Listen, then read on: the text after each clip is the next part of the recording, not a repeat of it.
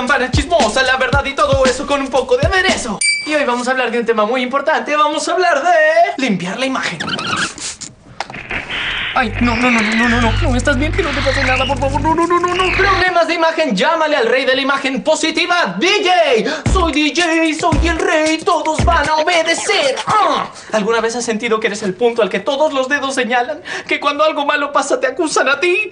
No fui yo. DJ, Sí, mami. ¿fuiste tú el que dejó ese skate en el medio del pasillo? Ah, depende. Tropecé y rompí mi jarrón. Entonces no fui yo, mami. Ven a limpiarlo. Sí, mami. Ah, ¿Ven lo que les digo?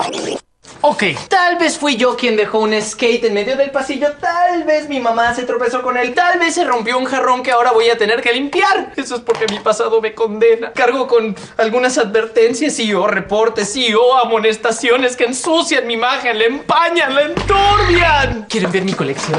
Son todos mis reportes desde el primer año, miren.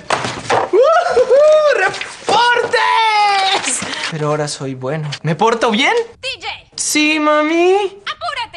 En conclusión, si quieres limpiar tu imagen, pórtate bien. Oh, oh, no, eso no funciona. Bueno, ya se me ocurrirá algo más. DJ, Sí, mami. ¿qué esperas?